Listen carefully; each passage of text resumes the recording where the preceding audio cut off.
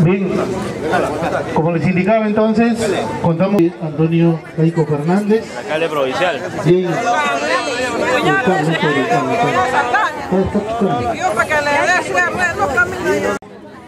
Todos están atentos ahí con su desayunito, gracias por refrigerio también. Señor alcalde, queremos saludar a Miguel Chiang, ¿no? Muy buenos, buenos días. Quiero en primer lugar agradecer la invitación, señor alcalde, de este hermoso distrito de Quilmaná.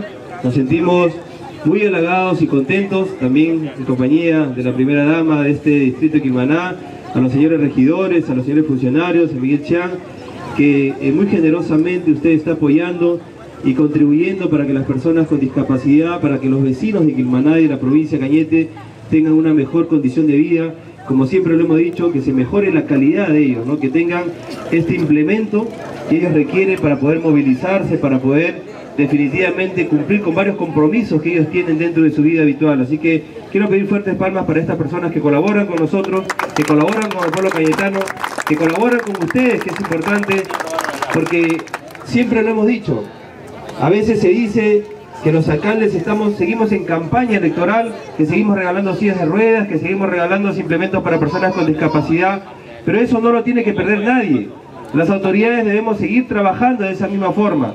Ayer estuvimos, por ejemplo, en Pueblo 9 de Conta, un jovencito que está postrado en cama hace seis meses y por no tener 300 soles para comprarse una silla de ruedas no puede salir al hospital. Y eso definitivamente se llama inclusión social.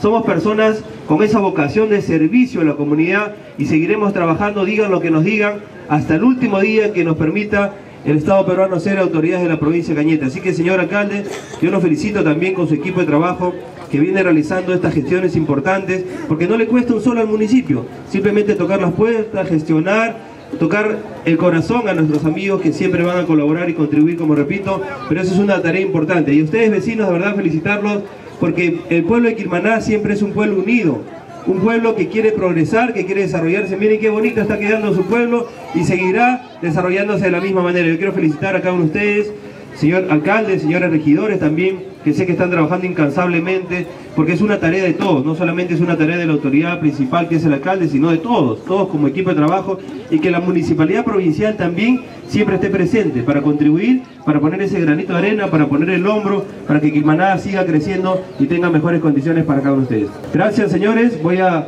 de verdad eh, simplemente a hacer, a sumar esfuerzo, porque el día de hoy también hemos traído más títulos de propiedad. Acá tengo el equipo de Yanina, Vamos a seguir trabajando también con los títulos de propiedad. Hace algunas semanas atrás entregamos ya un bloque, vamos a entregar otro bloque y de aquí a unos, unos 15 o 20 días creo que estamos haciendo la gestión ya final, vamos a entregar 1.400 títulos más en julio. En julio vamos a entregar 1.400 títulos de propiedad y de esa manera también seguiremos beneficiando a los hermanos de Quilmaná. Muchísimas gracias, que Dios los bendiga a cada uno de ustedes y ahora sí, la calidad de vida que ustedes tienen mejorará definitivamente. Gracias al alcalde y gracias a sus autoridades. Gracias.